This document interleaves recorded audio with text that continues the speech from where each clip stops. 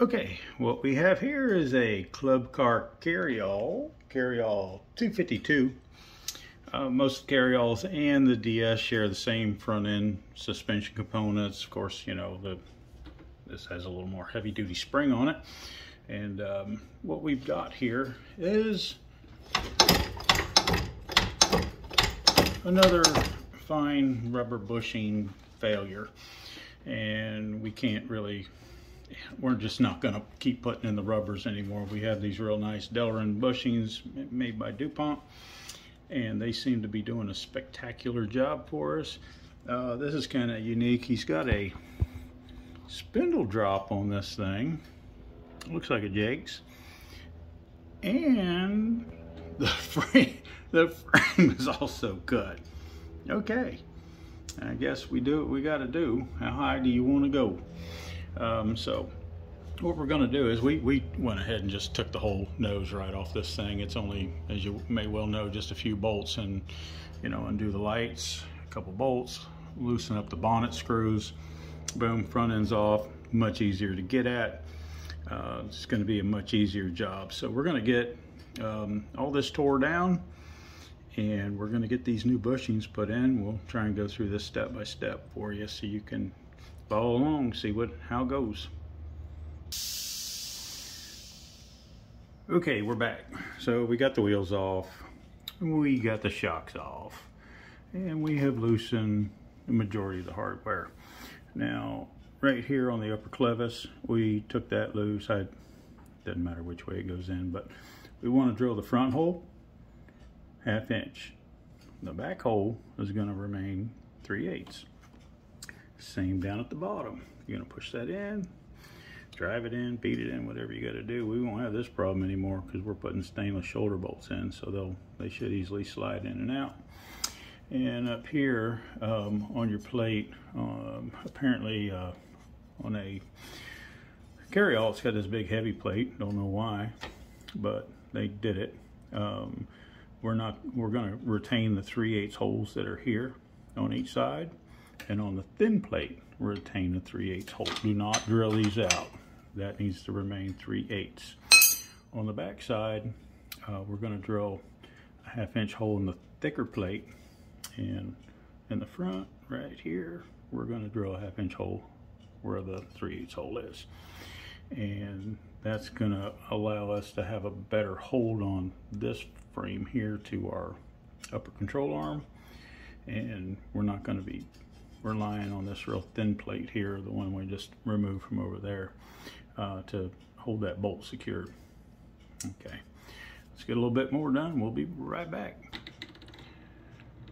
Okay, so we got all the hardware out and here's what's left of the inner bushings. Absolutely nothing. It's all gone.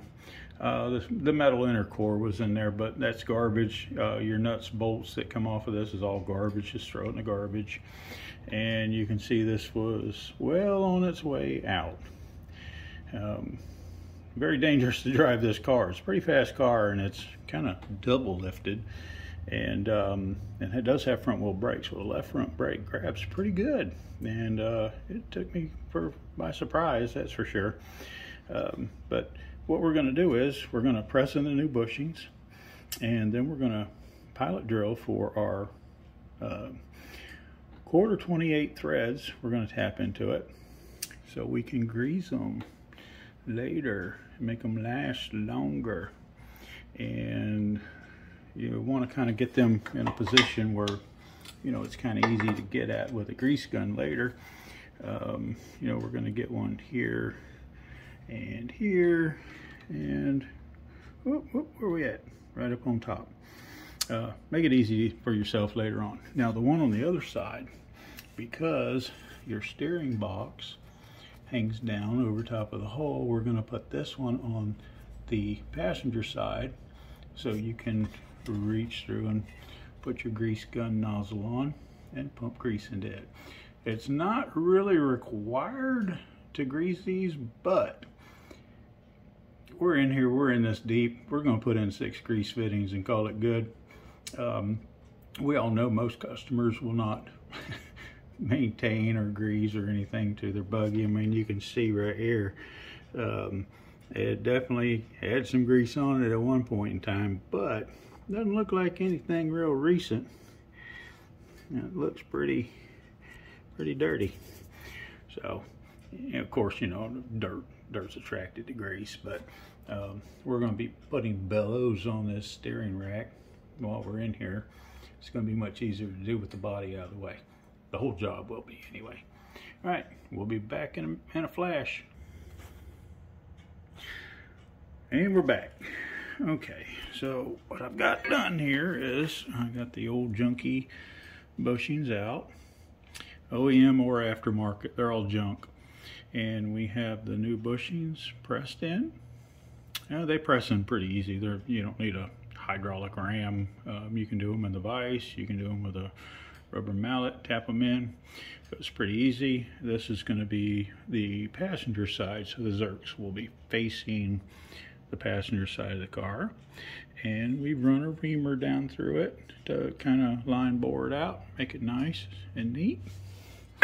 And then on our other one, yeah, I know it's upside down, they will be facing inward. So you'll just have to reach through to get to them. We um, decided to just go ahead and do both of them uh, in the same direction.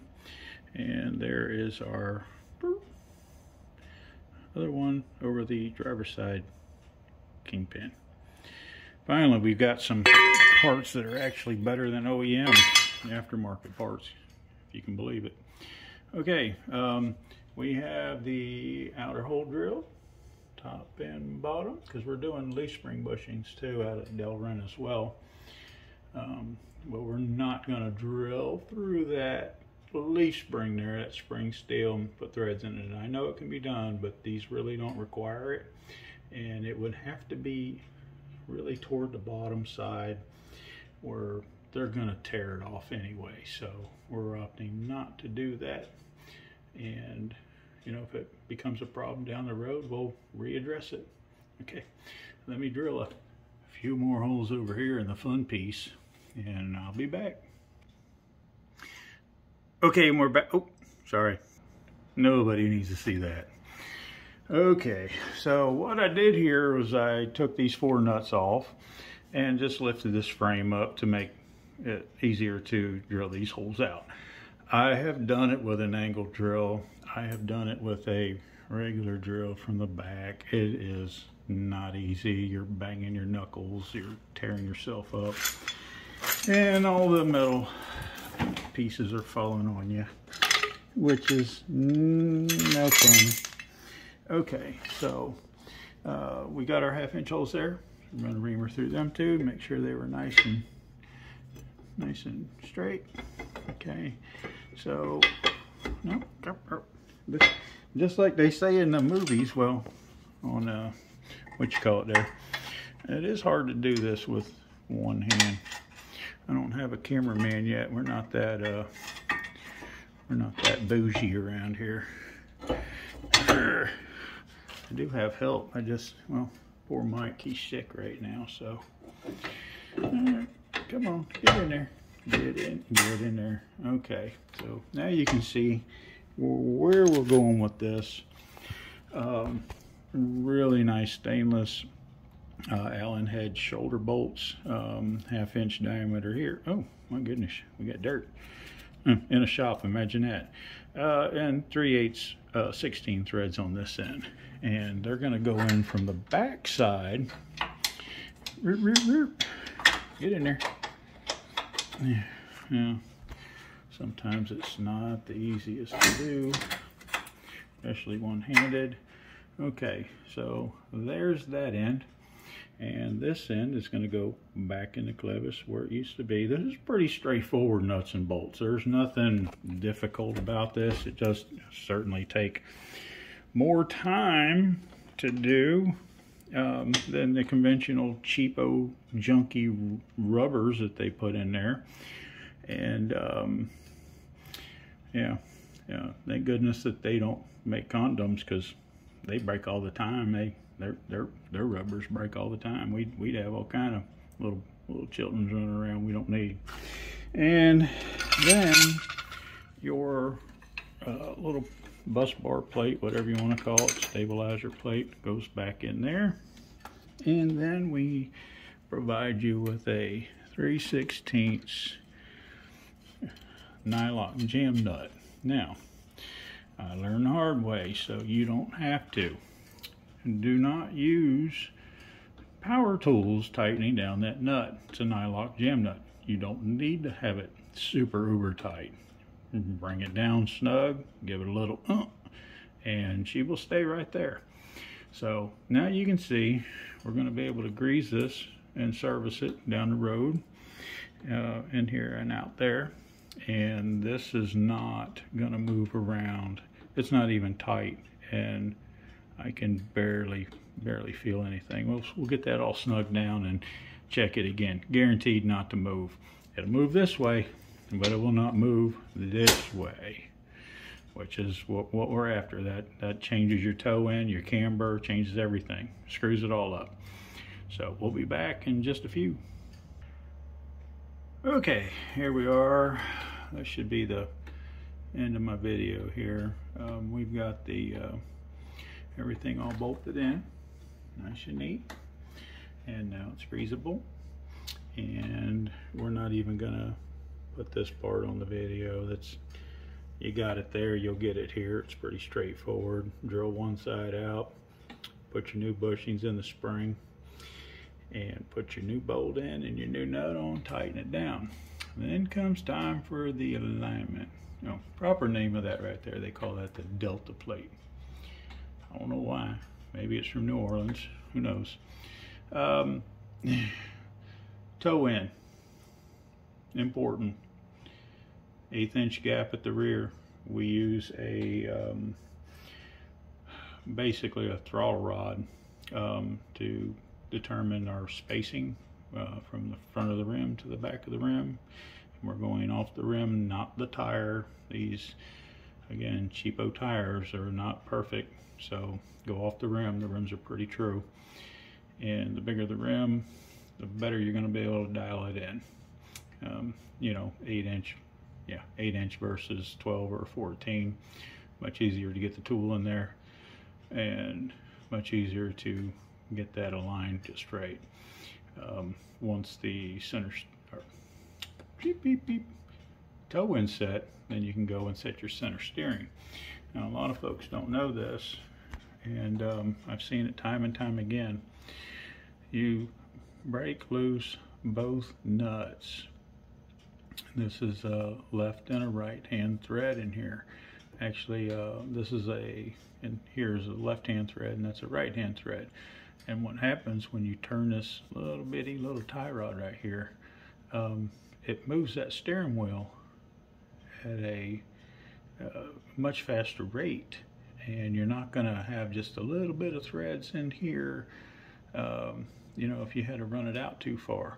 Uh, you want to try and keep as much thread count as you can inside this uh, little tie rod right here for safety's sake because um, the less threads you have in there, the better chances are it's going to pull out on you and you won't have any steering.